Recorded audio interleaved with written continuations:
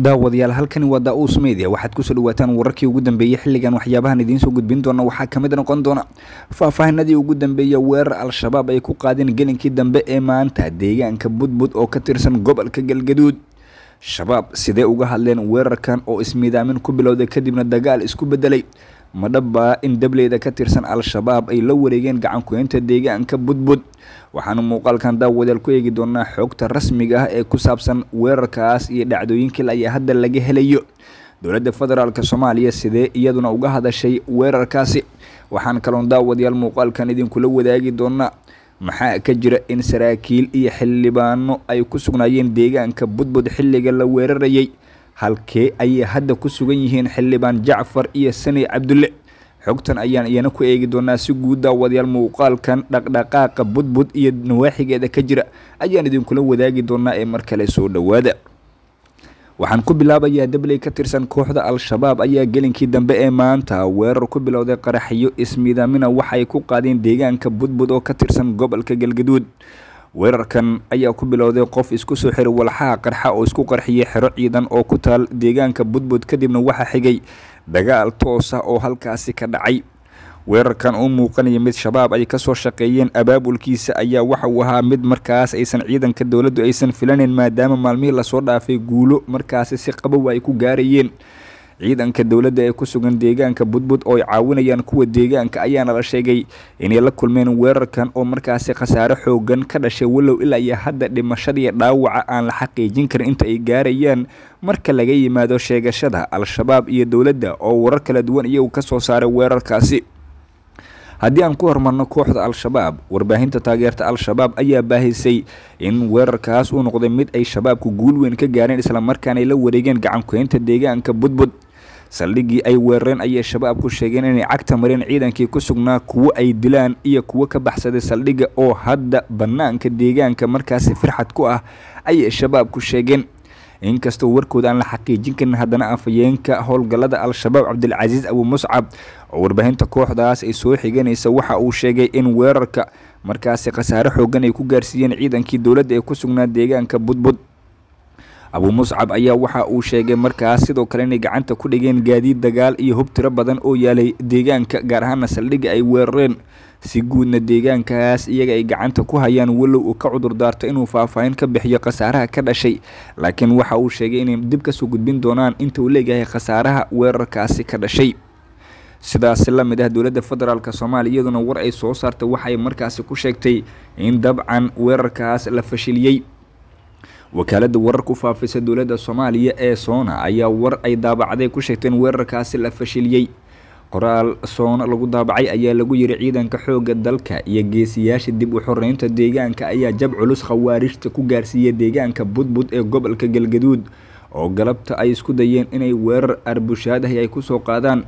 Ciidanka qaranka ayaa ku raadjooga firxadkii khawaarijta waxaana soo bandhigi doonaa xogta rasmiga ah ee jabkii galabta la gaarsiiyey khawaarijta faahfaahinta khasaaraha goordhow kala soco wakaaladda wararka soona ayaa lagu daabacay war sidaas u qornaa beejka facebooka ee wakaaladda soona ay ku leedahay inkastoo ay soona sheegayso in markaasi shabaab jab lagu gaarsiiyey weerarka islamarkaana dagaalamayaasha kooxdaasi weerarka sidii ay doonayeen aanu u dhicin laakiin la fashiliyey iyagana hadda markaasi lagu baacsanayaba bannaanka deegaanka budbud sidaasi la mid ah ayay shabaabkuna iyaguna sheegayaan in ciidankii dowladda ee ku sugnaa budbud ay firxadeen islamarkaana hadda lagu raacadeysanayo bannaanka deegaankaasi.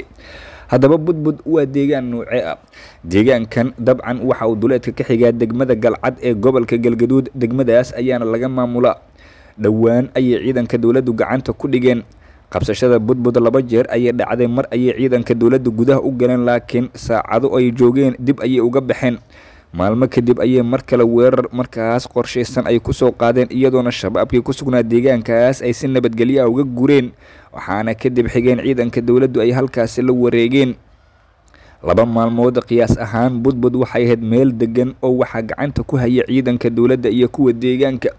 Laakiin weerarkan ayaa noqday mid markaas dabcan filowa. ah waxa ay dowladda soomaaliya cashar ka baran weyday weerarkii galcad lagu qaaday oo markaas ay deegaankaasi gacanta ku dhigtay dabcan shabaabku ay weerar soo qaadeen.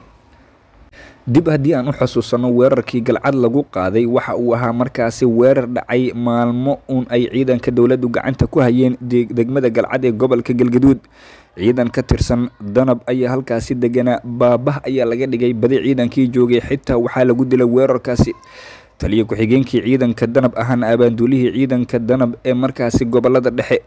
Waxaana weerarkaas dabcan uu markaasi sababay in ciidanka dowladdu ay dib uga baxaan galcad laakiin maalmo kadib ayay mar kale gudaha u galeen deegaankaas oo si nabadgelya ay ula wareegeen maalmihii la soo dhaafay howlgallo ballaaran ayaa ka jiray deegaanada markaasi ku dhow degmada galcad ee gobolka galgaduud iyadoona ciidanka dowladdu ay wadeen dadaal ay ku doonayaan dib u xoreynta deegaano badan oo weli ku jira gacanta shabaab. Waxaana deegaanadaas ka mid ahaa deegaanka budbud ee galcad hoostaga oo markaasi ay la wareegeen galabtana dabcan weerarkaasi uu ka dhacay waxaa adag in la helo xogta khasaaraha ka dhasha weerarka maadaama deegaanka la weeraray dhammaanba isgaarsiintu ay ka maqan tahay. Laakiin deegaanada ku dhow waxaa laga soo warinayaa in dhaqdhaqaaq ciidan oo baaxad lahi weli uu jiro. Haddaba deegaanka la weeraray maanta waxaa ku sugnaa saraakiil ciidan iyo weliba xildhibaano caan ah oo markaasi ka mid ah abaabulayaasha kacdoonka ka dhanka al-shabaab ee ka soconaya galgaduud xubnaha la xaqiijin karo inay markaasi budbud ku sugnaayeen xilliga weerarka u dhacaya. Waxaa ka mid ah xildhibaan maxamed abuukar jacfar oo ka soo jeeda degmada ceelbuur abaabul dagaalna halkaasi u joogay senator afcadey iyo sidoo kale taliyaha guutada afaraad ee ciidanka xooga dalka korneyl sanay cabdulle sidoo kale waxaa deegaankaasi ku sugnaa taliyaha guutada saddexaad genaraal ibraahim yuusuf. Waxaa kaloo ka mid ah saraakiisha deegaanka budbud ku sugnaa korneyl cumar cali cadow. Dhammaantood waxaa la soo wariyey inay yihiin kuwo badqaba iyadoo warar kala duwan oo iskhilaafsan ay ka soo baxayaan halka ay xilligan ku sugan yihiin warar ayaa sheegaya weerarka markii uu qabsaday deegaanka budbud in markaasi mas'uuliyiintaasi ay isaga soo carareen deegaanka islamarkaana ay maqribkii caawa gaareen degmada aadan yabaal walow aan la xaqiijin karin. Warar kalena waxay sheegayaan in markaasi saraakiishaasi iyo ciidamo markaasi la socda ay dabcan gaareen deegaan aan ka fogeen deegaanka la weeraray ee budbud oo dabcan isna hoostaga degmada galcad ee gobolkaasi galgaduud ma jirto khasaare la soo wariyey oo markaasi saraakiishaasi soo gaaray laakiin budbud qabsashadeeda ama weerarkan lagu qaaday waxa uu muujinayaa in weli shabaab ay markaasi jaanisgaad yihiin oo ay marba deegaankii nabadgelyo ay uga baxaan dib ay u soo weeraraan. Sidoo kale weerarka gelinkii dambe ee maanta intii u dhexaysay salaadaha casr iyo maqrib ay ku qaadeen shabaabku deegaanka budbud ayaa noqonaya kii ugu horeeyey oo noociisa ah xilli kooxdaas looga bartay weerarada nuucan oo kale ah inay qaadaan kadib salaada subax iyadoona tan iyo curashadii bishan barakeysan ee ramadaan iyo weliba ka horba shabaabku ay qaadeen weeraro badan oo markaasi waa beri hore ay kula jarmaadeen deegaano kala duwan oo jabna ay gaarsiin ciidanka dowladda sawiro iyo muuqaalo ay soo bandhigeen kadib. Weerarkan ayaase noqonaya kii ugu horeeyey oo afurka ka hor ay shabaabku markaasi qaadaan. Tanina waxa ay muujinaysaa weli shabaabka inay caaboon yihiin isla gelinkii dambe ee maanta ka hor salaadii casir waxa ayana dagaal ka dhacay inta u dhexeysa budbud iyo galcad oo ciidan dowladda ka tirsan oo budbud u socday. Ayay shabaabku dhexda u galeen halkaasna waxaa la sheegay inay ku dhinteen saraakiil ciidan. Sidoo kalena ciidan iyo weliba dagaalamayaal ka tirsan shabaab ayay khasaaro uu soo gaaray. Isku soo wada duubo budbud oo ah deegaan istaraatiiji ah islamarkaana ah deegaan dalxiiseed ayaa xilligan xaalkeedu yahay mid degan lama xaqiijin karo cidda rasmi ahaan ku sugan marka laga yimaado sheegashada shabaab oo sheeganaya inay joogaan deegaanka iyo dowladda oo sheeganaysa inay deegaanka iyadu weli ay joogto iyo weliba inay adag tahay helista xogta cidda deegaankaasi ku sugan maadaama budbud isgaarsiintu ay ka maqan tahay.